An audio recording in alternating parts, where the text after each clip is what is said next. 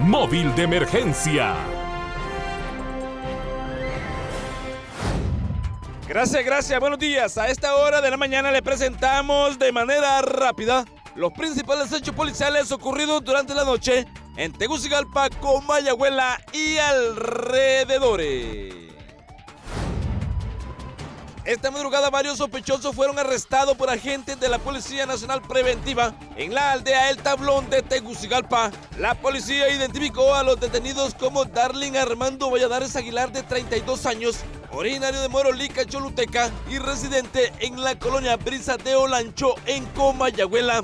Según los agentes encargados del caso, Valladares Aguilar aparece en los archivos criminales con antecedentes por robo. El segundo arrestado es Eric Alexander Macías Díaz, de 27 años, originario y residente en la colonia Villanueva de Tegucigalpa, y según los detectives tenía orden de captura pendiente por homicidio. Mientras que el tercer sospechoso, la policía lo identificó como José Danilo Brizuela González, de 34 años, de oficio motorista, originario de Nacaome Valle y residente en la colonia Villanueva de Tegucigalpa.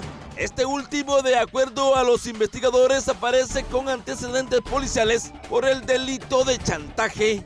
Al momento de su detención se les encontró en poder de un arma de fuego y un vehículo tipo taxi con registro 6667 y placa AAS 2456.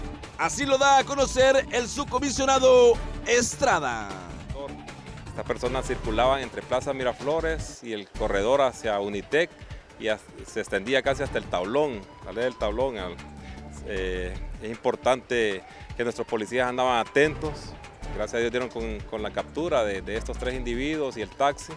Nos llama mucho la atención de que el taxi tiene muchos indicios porque andan tapado el número de registro en la parte frontal. Se les encontró armas de fuego, eh, celulares. Eh, Ayer dos miembros de las Fuerzas Armadas de Honduras se accidentaron cuando se conducían en motocicleta en la ciudad de Danlí, El Paraíso. Uno de los heridos fue identificado por las autoridades como Julián Isaías Pastrana, quien fue llevado anoche al hospital militar en esta capital. Mientras que el otro miembro de la institución armada, de acuerdo a reportes médicos, no fue necesario movilizarlo en busca de especialista. Cabe mencionar que en relación a este accidente no se lograron conocer mayores detalles sobre las causas del mismo. A bordo de una ambulancia del cuerpo de bomberos llegó a la emergencia quirúrgica del Hospital Escuela Universitario un hombre que se lanzó del cuarto piso de un hotel en Comayagüela. El afectado, identificado como Jaime Casco de 32 años, aseguró que una voz perturbadora le ordenó que cometiera la fatal acción. El hombre sin mucho misterio saltó al vacío y rebotó en el techo de otros establecimientos, salvándose de milagro, pero resultando con profundas heridas que hoy lo mantienen hospitalizado. Anoche en operaciones diferentes, agentes de la Fuerza Nacional Anti-Extorsión lograron la captura de tres sospechosos en distintos puntos de Tegucigalpa.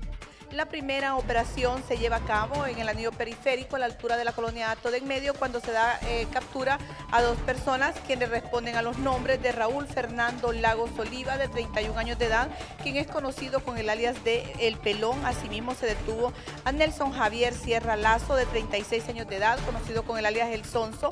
Según la investigación de los agentes asignados al caso, estas personas eh, pertenecen a una banda independiente. Al momento de su detención pues se les ha decomisado tres teléfonos móviles, asimismo un paquete simulando la cantidad de 10 mil lempiras, 800 lempiras del cobro por extorsión y pues también un vehículo tipo taxi con registro 4167 eh, de la ruta Los Pinos, el centro. La segunda operación se lleva a cabo a la altura del puente Estocolmo eh, cuando se da detención a Luis Roberto Ávila Moncada, alias El Negro, de 29 años de edad. La investigación revela que es miembro activo de la pandilla 18. Se le ha decomisado un paquete simulando una fuerte suma de dinero, asimismo un teléfono móvil y un taxi con registro AA eh, 8598. Eh, Cabe destacar que estas personas pues han sido capturadas gracias a la denuncia ciudadana. Se les ha dado el... Un motociclista estuvo a punto de perder la vida ayer al accidentarse aparatosamente en su unidad en el municipio de Oropoli, El Paraíso. El herido, identificado como Nelson Antonio Vargas, fue movilizado a esta capital a bordo de una ambulancia de la Cruz Roja hondureña, cuyo personal realizó transbordo en el sector de Zamorano. Según el reporte médico, el motociclista se conducía solo y en supuesto estado de ebriedad al momento que sufrió el percance. Agentes de la Policía Nacional Preventiva mediante una denuncia directa lograron anoche la detención de dos sospechosos a la altura de la colonia Ato de En Medio acusados de asaltar a pasajeros en buses rapiditos. Los detenidos fueron identificados por las autoridades como Ángel Romario Pérez Roque de 20 años, originario y residente en la colonia Villanueva de Tegucigalpa, mientras que el otro arrestado de nombre Emanuel Antonio Rodríguez Chávez de 22 años es originario de la villa de San Francisco y residente en la colonia Villanueva de esta capital. Al momento de su detención se informó que tenían en su poder un arma de fuego y una filosa navaja la que utilizaban para intimidar a sus víctimas.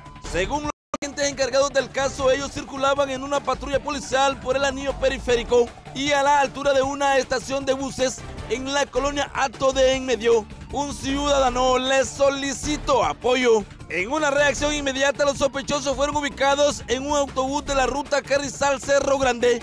Rápidamente, al ser sometidos y requeridos, se les encontró en poder de las evidencias de acuerdo a lo informado.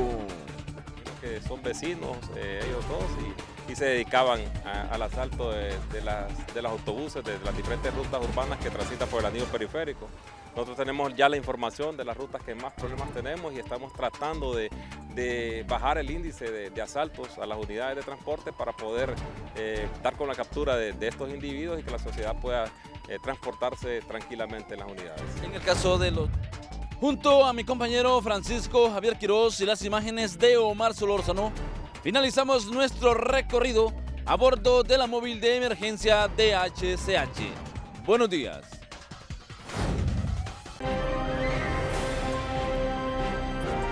Móvil de emergencia.